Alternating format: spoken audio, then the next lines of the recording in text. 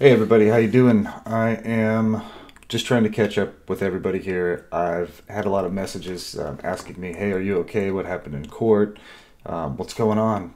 So I've been busy. I, you know, people always say, "I'm busy. I'm busy." And you're thinking like, "What the? What are you so busy doing? Why can't you let us know?" You know, I understand.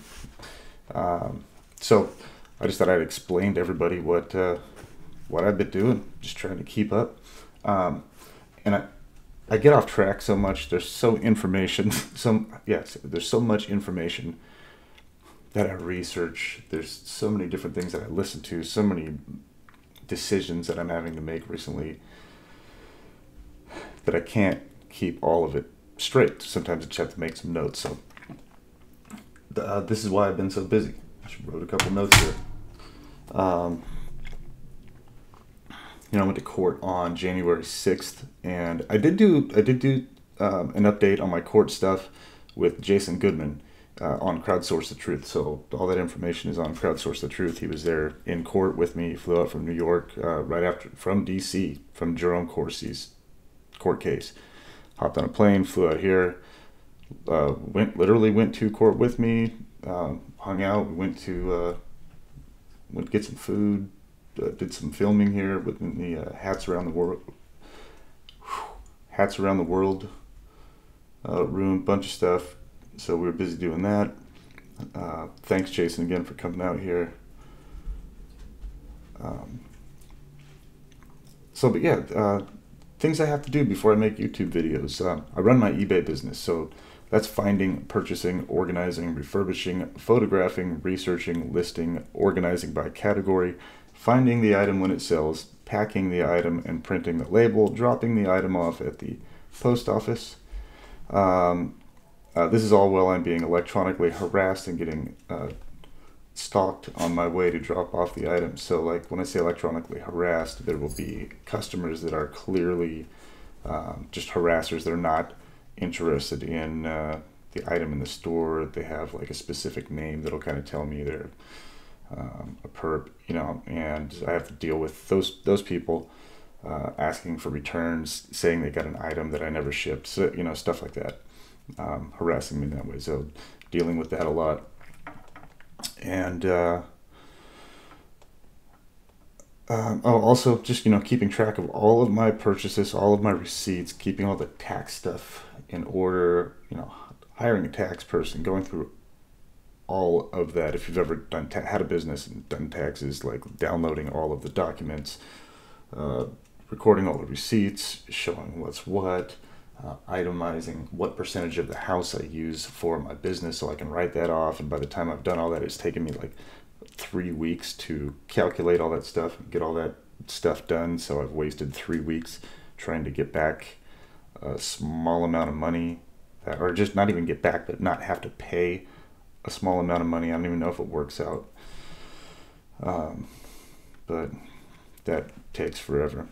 Um, so there's a lot to go with this business, and I have to keep up with it. I have to I have to get this done first. If I don't get this stuff shipped out, I have percentages that go down that show that I shipped out this stuff late, and then eventually my store gets shut down. I have no more revenue to function in life. I don't have a business anymore.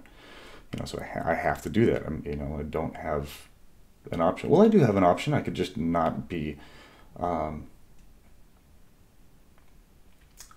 an independent person and not try to run my own business and just go and just give up and ask for some kind of public assistance. But I've never done that. Well, when I say I never done that, I got WIC when I worked for the fire department.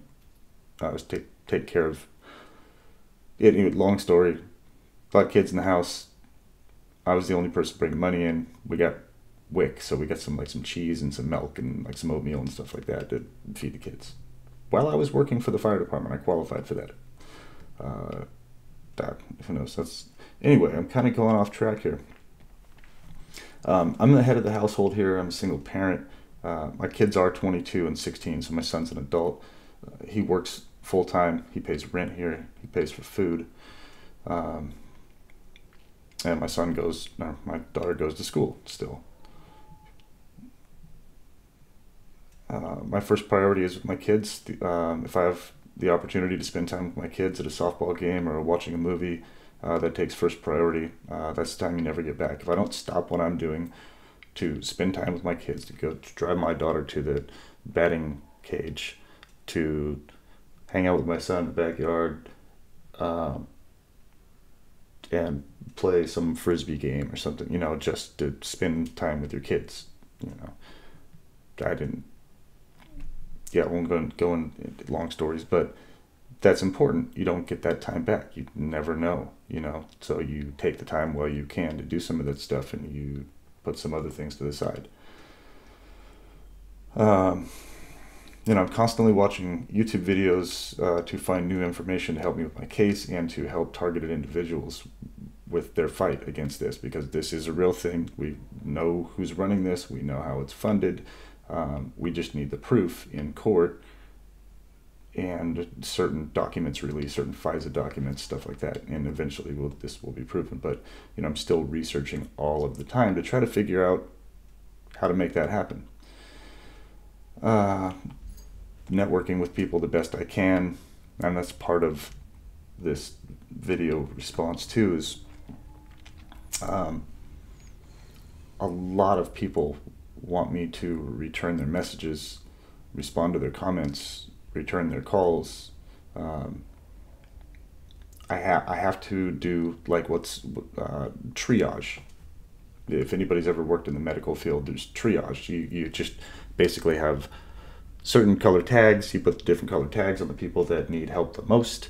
Um, so that's kind of how I look at things in my life. There's certain things that need to be handled first, and right now interacting and having like a social life on social media and just contacting everyone or responding to everyone with a question that would take hours and hours and hours and hours and every day every single day.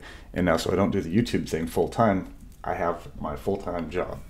Um, all of my research time to you know i, li- I live in a hoa yeah i think i put that on here uh, i live in a neighborhood that has uh, a homeowners association. That's pretty much standard here in Arizona, I guess. Everybody's got a homeowners association. It's not like, you know, in California, uh, my mom had a house that she rented out. The homeowners association was like 350 bucks a month, 400 bucks a month. And that went into the rent or something like that. But uh, here it's 25 to 50 bucks, I think, something like that. Um, and everybody pays it. But long story short, uh, I have to, you know, if the weeds start getting a little bit long out there, you know, I don't really have the option to just go, ah, I'll pull those later. You know, they'll they'll give me a ticket, so I've got to do that. Spent half the day pulling weeds yesterday. Thankfully, the kids helped me. Uh, I'm gonna do more of that today. So there's like things that happen in like my normal everyday life. This is shouldn't be part of my normal everyday life. This I should not even be on this video talking to all of you about this. I should be doing like a video on, uh, you know, professional photography or skateboarding or uh, something else that it, that I enjoy. I really don't. Well, I enjoy talking to the people, you know, but um, so don't get me wrong. This is not the topic that I want to spend all of my time on. I want to spend my time on something positive. I want this to end, so that's why I'm I'm talking about this. Uh, all right, so you guys get it. I've been busy. There's things that need to be taken care of. I went to court on January 6th, and uh, I took this letter in with me. It's actually a little bit shorter letter than the last one I took in. And uh, basically, uh, for anybody new to my channel,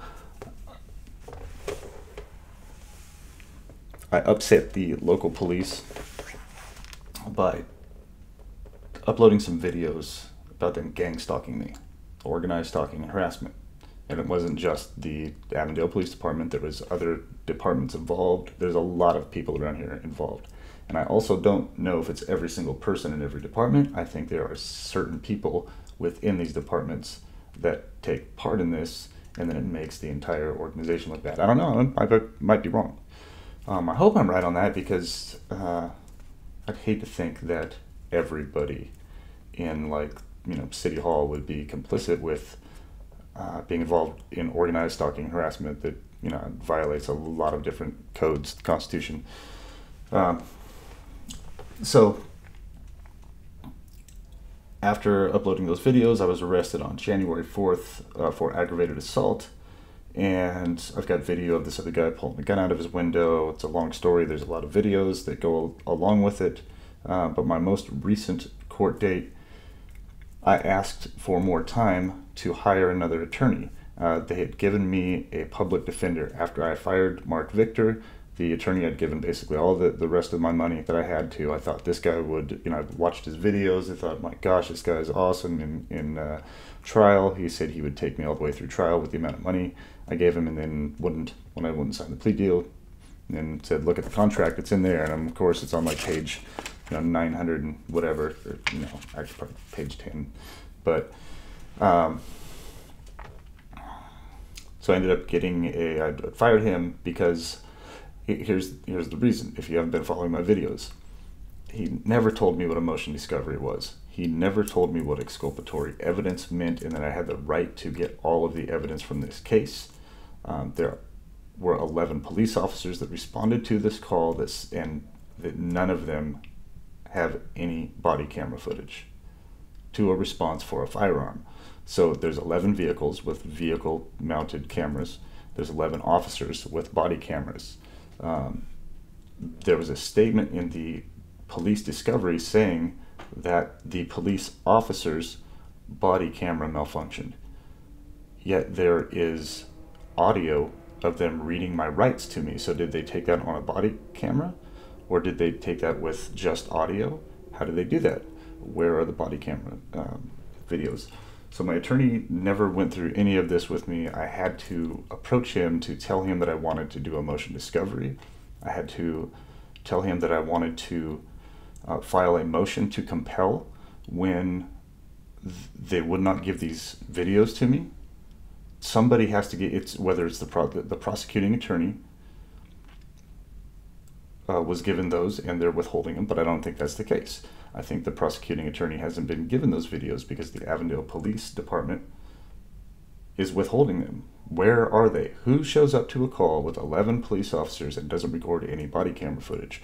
Where is that footage? Why won't they give it to me? And I want all of it because it'll take all of it to prove this, and they don't want me to do that. So here's the letter that I read to the uh, the judge, and I asked for this to go on permanent record. I actually got ahead of myself. I I've learned the process, and I asked for this to be put on permanent record, and the judge goes, "Yeah, that was actually the next thing I was going to ask you." And I said, "I'm sorry, Your Honor, I didn't mean to jump ahead of you." And he's like, "Well, it's okay." Uh, he seems like a cool guy, not just a cool guy. Like he seems like a reasonable guy. I don't know. He, uh, I don't know. It seems like he's starting starting to listen a little bit we'll see. We'll see. I hope so.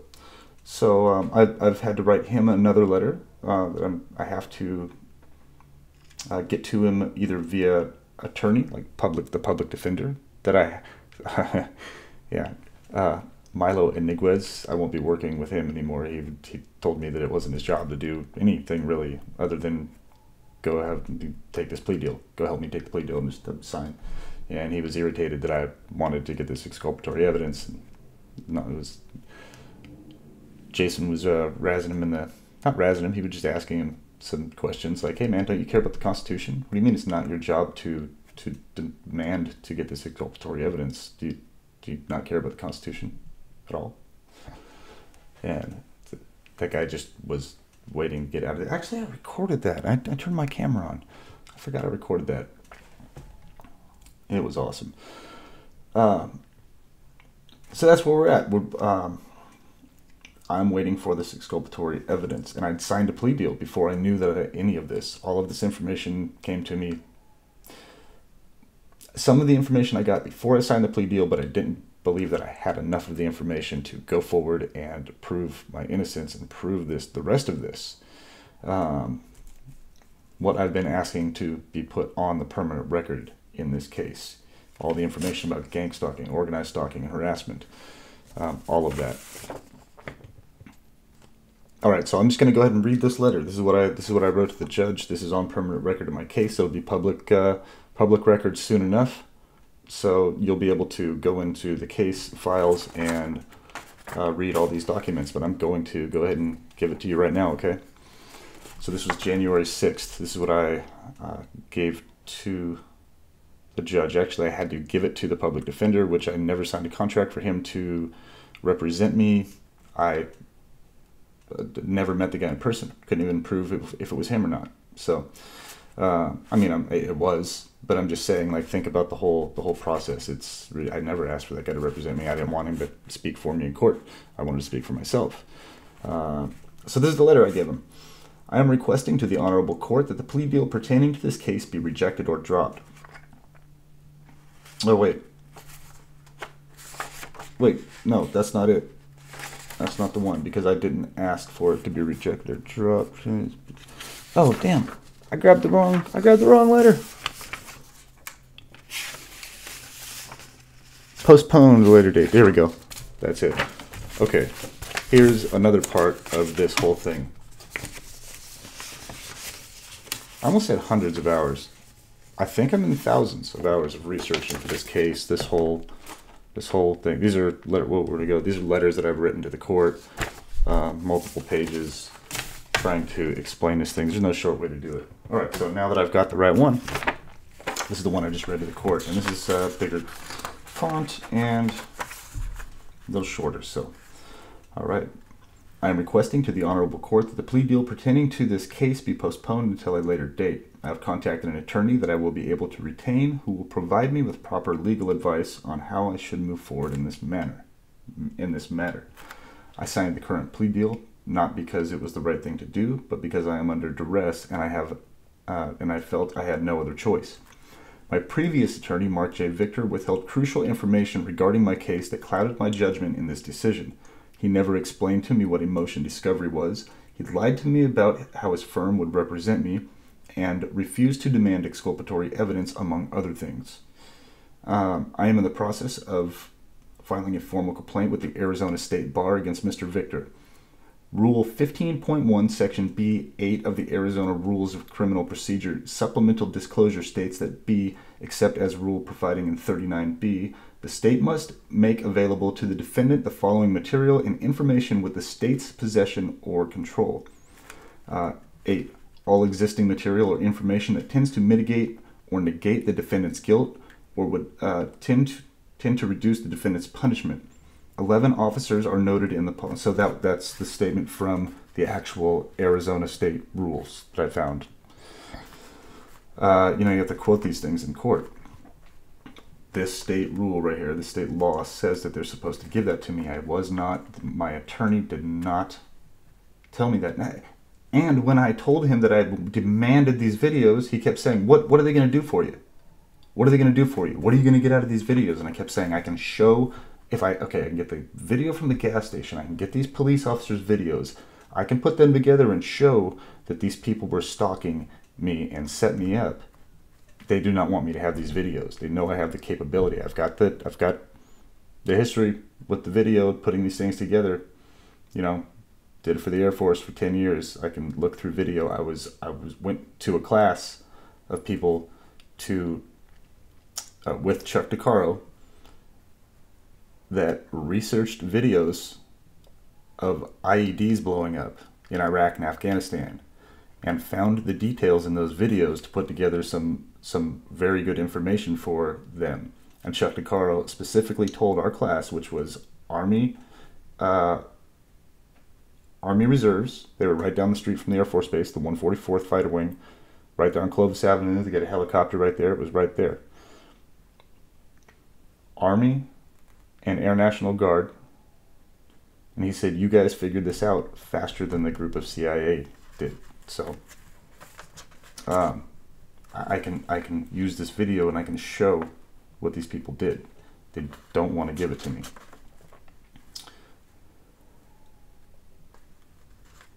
Okay. 11 officers are noted in the police discovery. There is one body camera video of the police searching my mailboxes for some reason. Uh, there was an audio uh, there was an audio recording of my Miranda rights being read to me by Officer Miranda. I have some typos in here that I didn't realize I had. Hmm. Thought I corrected that. Um, how do they have specific footage and nothing else? The body camera videos being withheld from this case are exculpatory evidence that were not released to my attorney when requested. When they were not released, I requested that Mark Victor demand the exculpatory evidence. He refused and said that's all they gave us.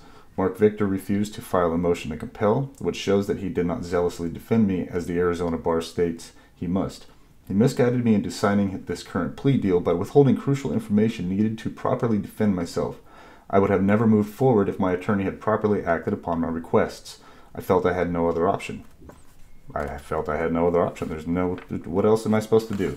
I go pay this guy all this money. I have been watching TV shows my whole life and movies where, you know, you get in a, a jam, you need somebody to stand up for you, and you have to sell whatever. You have to pay an attorney for them to properly what's properly defend you, to zealously defend you, and then as soon as you give them their money, your money, it's all over. They don't care. I'm not saying every attorney, but this one in particular. Um, you know, I was out of money, felt I had no other option. I'm just okay, whatever. I guess this system is too powerful me, too powerful for me to put the truth out there, to tell them exactly what's going on, and for somebody to actually take this information and investigate it. And so far the only people that I see investigating this thing is uh, QAnon. I see the which is military intelligence that is disseminating information um, through different channels. So that has yet to be proven. I believe that it's a thing. I believe QAnon is is real, and these people are investigating this. Um, but I don't know how long it's going to take in order for that them to prove this and to uh, be able to that they have to release this information at the right timing. Um, because if they release it at the wrong time, it's going to look like some political move, and it's going to be hard for people to believe that this has been happening to so many people. This organized stalking harassment. I hope my mic is picking this up good. Uh, I'm sorry if it's not. Uh, I didn't get all set up here with my lights and everything. I just wanted to do this. I, I still got weeds to pull. right out the window right there. Uh, items to ship. I think there's 50 more to go today, something like that. You know, I'm, I'm tired. To, I don't have a weekend really. Uh,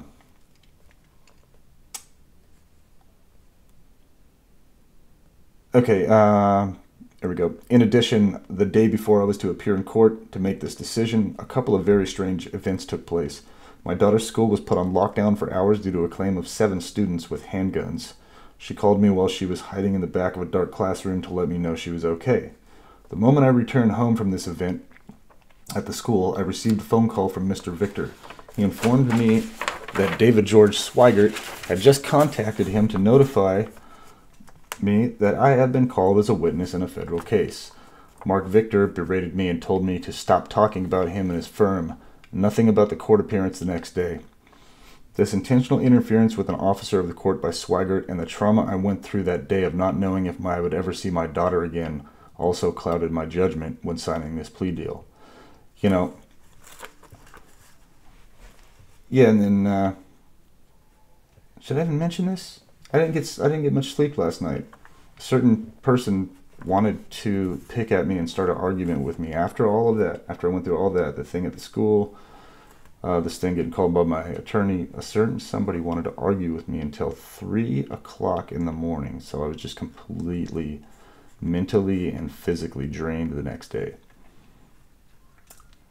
It's hard to make a proper decision when you are uh, when you've gone through an entire day of just nonsense. So all of those events, events were very coincidental. Imagine that. I'm requesting two months to work with my uh, uh, I'm requesting two months to work with my new attorney and return to court with my decision to accept a plea deal or not. I tried working with Mr. Iniguez, but he said he was not interested in my case. I cannot be represented by anyone not interested in my case. He literally said that I asked him, "Hey, if I want to retain you, how much is, does it cost to retain you for my attorney?" Um, said I'm not interested in doing that. It would be a this or that. And I said, oh, okay, yeah, it'd be a slippery slope, conflict of interest, something like that. I would never in a million years retain that guy. I just wanted to see what his uh, retainer fee was. So he figured that out. Didn't want to tell me. Um, but this guy wanted to spend zero time with me. Uh, he's got the elite complex talk down to me. I recorded both of the phone calls. Arizona is a one-party consent uh, state for phone calls, and I've learned that after Mr. this thing with Mr. Victor that I should have recorded that phone call from the beginning. So, you know, I just record all of them now because when these people lie to your face and they try to use it in court and say I never said that, then all you have to do is hit play, and then they've lost their credibility in court. And they, unfortunately, that seems to be the only way to protect yourself in this whole situation. Um, you know, and then you're like constantly recording all these different situations, and then people, you know, the people that don't know, that haven't been through this, that aren't part of this, they're thinking, why are you recording my conversation? So, but uh, usually the people that have an issue with it, they call, they're from some kind of company or whatever, that says, uh, we're recording this conversation for our records. I'll say, yeah, yeah, me, me too. I'm recording this conversation for posterity. And they go, well, you can't record us. I say, mm, yeah, I can. I'm telling you I am. I don't even have to tell you I am. I'm just telling you I am. And sometimes they'll just hang up. So, you know, it's okay for us to record, but not for you. So, all right. So, I let everybody know what's going on with my court case in the middle of all that. Uh, I've got two months. The judge uh, granted my request. I've got two months. I've been working on these letters I've been working on the procedures uh, that I need to go through, the channels I need to go through to submit all this information, um, to submit things pro se, not necessarily represent myself pro se, but to submit uh, documents pro se, different things, and uh, carry through this thing. So, wow, I completely just lost my train of thought there. Man. That is tough. So uh, let's see. What else do I need to talk about? I need to get back to work. I'm sorry, this is kind of a choppy video. God, most of my videos are like that. I'm, you know, I'm not a professional with this. When I was in multimedia in the Air Force, I wasn't always the guy. You know, I did small amount of training. I wasn't always the guy in front of this microphone. I'm speaking. I was the camera guy. I was doing graphics. I was doing billboards for uh, the freeway, uh, for recruiting stuff like that, uh, websites. Um, documenting. I te- there was a lot of fun stuff, you know, a lot of TDY, a lot of deployments, filming jets, filming uh, fires, all kinds of different stuff. You know, putting out fires. That's what this actually this picture is right here. That's me and my old fire truck right there. It's a crash truck. It's a P29 crash fire rescue truck. Google it. They're the old tri- uh, truck. They use this one called a Striker now.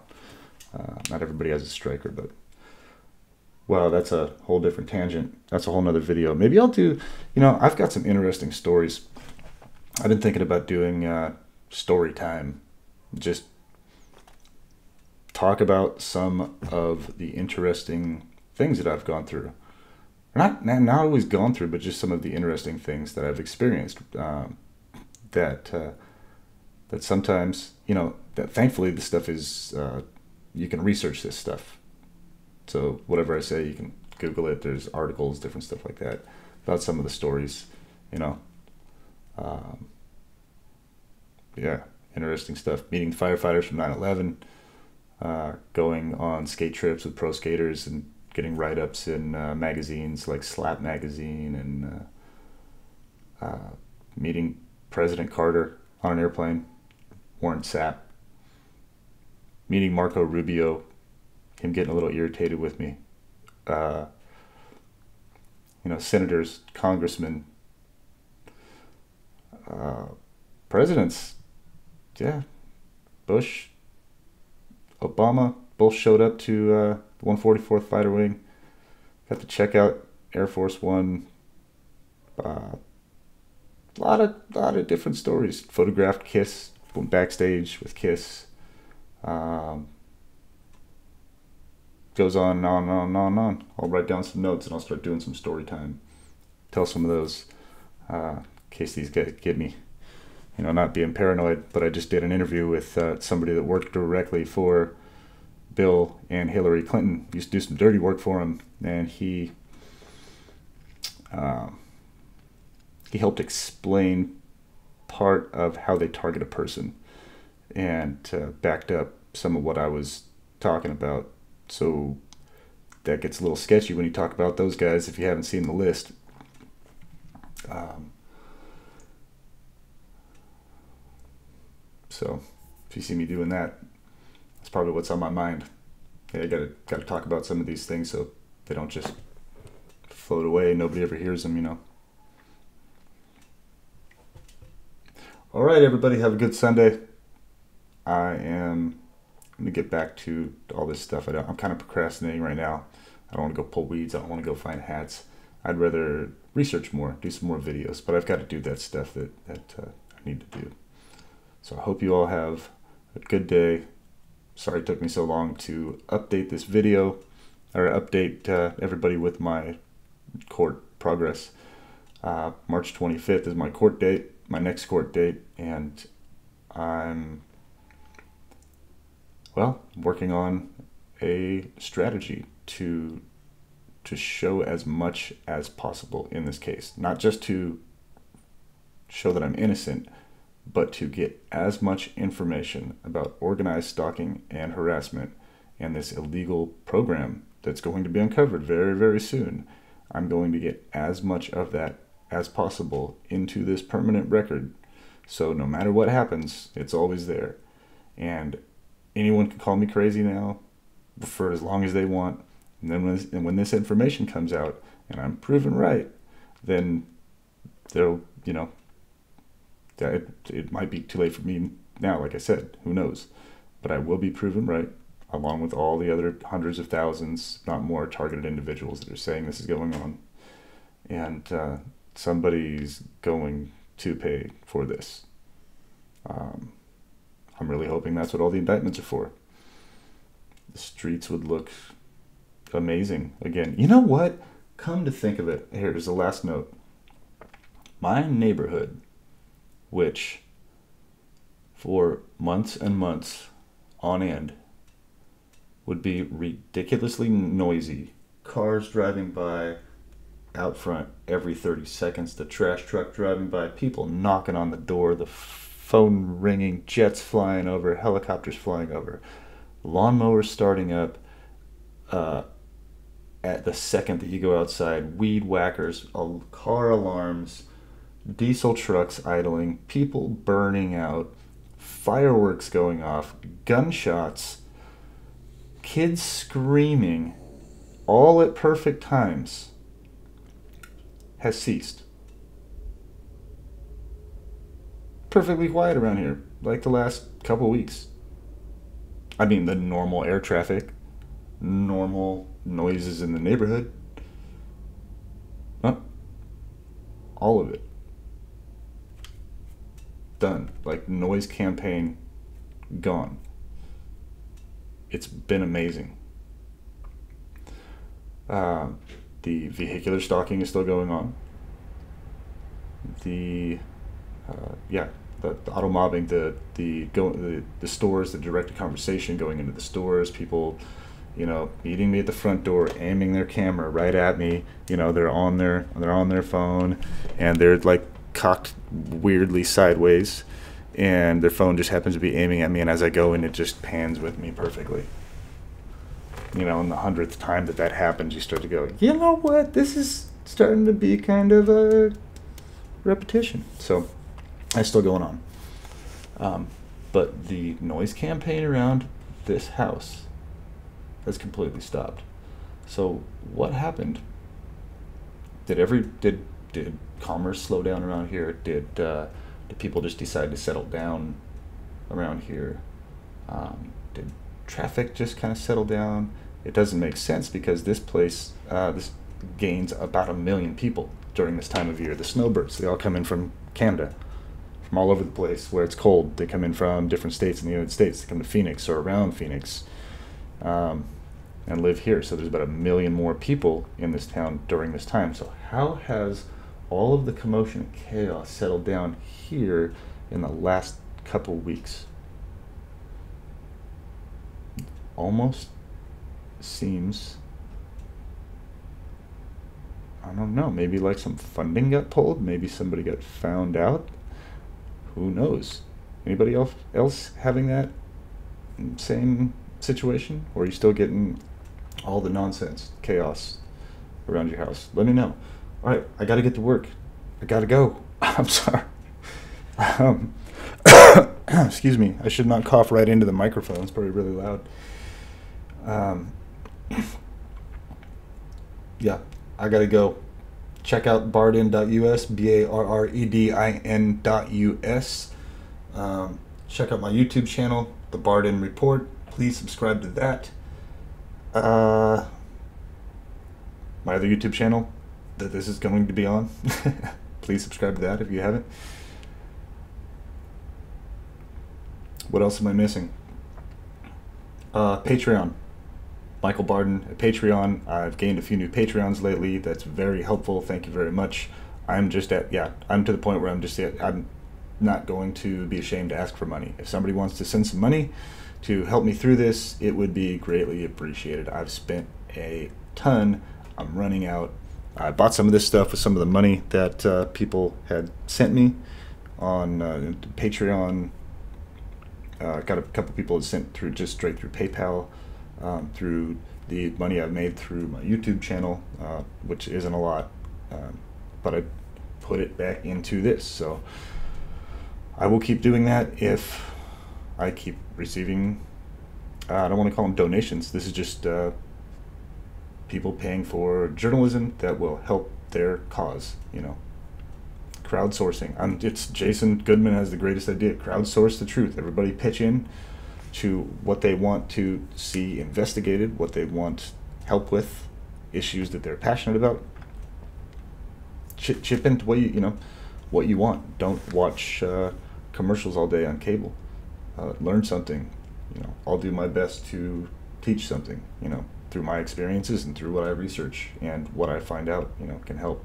And there's a lot of information coming out right now. By the way, there's a lot of and I say mainstream information because you can't even listen to CNN or you know half of these news uh, network news channels. You have to listen to uh, independent journalists, and a lot of these independent journalists are professional shows that have good information, good research.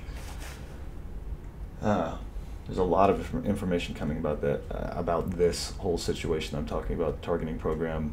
Uh, Q post the other day literally talked about remote neural monitoring and something about um, living in a movie. Is this real? You know, and if you you've been targeted for any amount of time, you understand it's like you're living in the Truman Show.